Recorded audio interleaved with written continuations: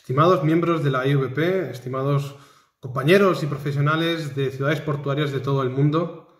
Mi nombre es José Manuel Pajés Sánchez, soy el director de la Agenda 2030 de la IVP y como todos sabréis, eh, la IVP está organizando del 11 al 13 de mayo la Conferencia Mundial Ciudades y Puertos en Tánger, en Marruecos, junto con sus eh, partners locales SAPT. Es un placer invitaros a participar en esta conferencia y creo que hay por lo menos tres buenas razones para hacerlo. La primera es que después de dos duros años de pandemia en las que eh, hemos todos sufrido las reuniones virtuales en Zoom, en Teams, etc., finalmente podemos encontrarnos físicamente en un contexto mundial para discutir sobre los problemas de las eh, ciudades portuarias.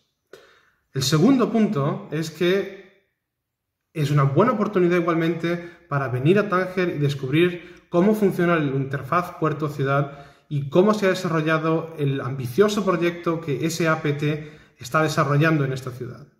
Y el tercer punto es que hemos trabajado y hemos preparado un excelente programa para vosotros. Hemos llamado a nuestra conferencia Inspiring Blue Futures, inspirando un futuro azul en español, porque queremos enfatizar el papel de las ciudades portuarias en el desarrollo de la economía azul y la protección de los mares y de los océanos.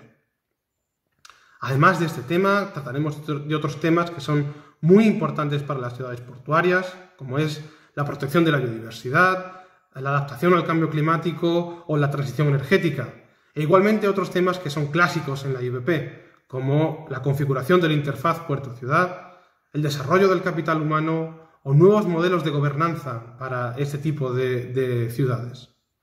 Por lo tanto, creo que hay motivo suficiente y será un placer recibiros en Marruecos. Espero veros allí. Hasta luego.